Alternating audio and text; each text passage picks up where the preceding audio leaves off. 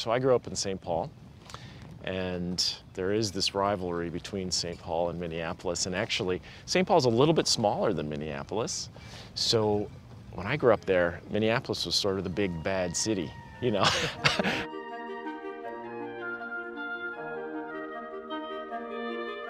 so is this your first time to Lake Harriet? Yeah, absolutely. Okay. This is one of our inner city lakes, one of many. As you've probably heard, uh, Minnesota is the land of 10,000 lakes, but there are close to 14,000 actually. Yes, uh, no shortage of water here. So these are our oceans, and uh, this is a great walking path, running path. I think it's about three miles around here. It's a wonderful area to enjoy because you're so close to downtown, you're so close to the airport, and yet you're in a little paradise right here. It's, it's quite a unique gem in the Twin Cities, I think. And tell me why the lakes mean so much to you. Well, I mean, I did just a couple weeks ago, I rode my bike around a couple of these lakes, which I think is a wonderful thing to do. But this lake has had a pavilion of some kind for many, many, many years. Oh, lovely. And the Minnesota Orchestra has given concerts here for as long as I know. And it's a beautiful little venue over here overlooking the lake. And you know, the sound just resonates into the neighborhoods and it's definitely a special place in the Twin Cities, I think. Lovely.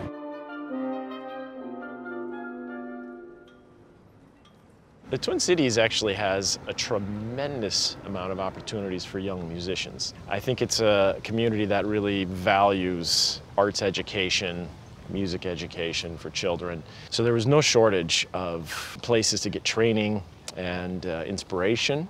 That was the same in my little city, Mm.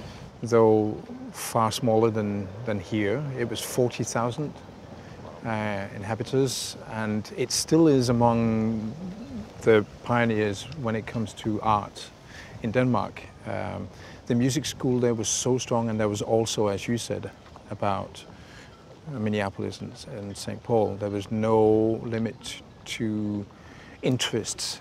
Um, the kids with either theatre or music. And actually, theatre was what caught me first. Really? Yeah. And I know that the theatre in the Twin Cities is, is among the best in the country. Yeah. And I've actually been enjoying that more since coming back recently.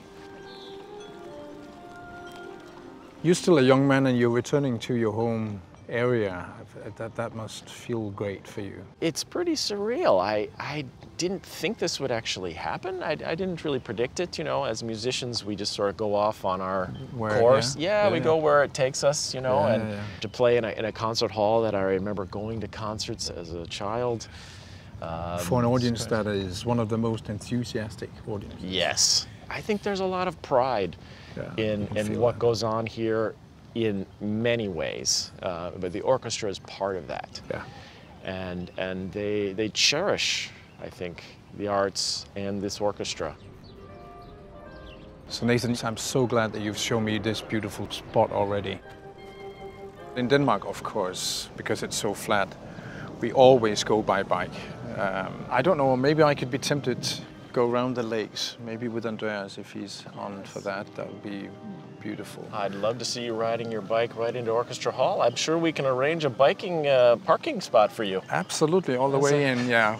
With the score in the backpack, yeah. Yeah.